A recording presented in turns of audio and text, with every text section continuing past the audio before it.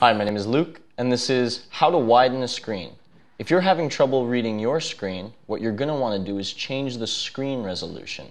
This is how Windows outputs the default video format to your screen.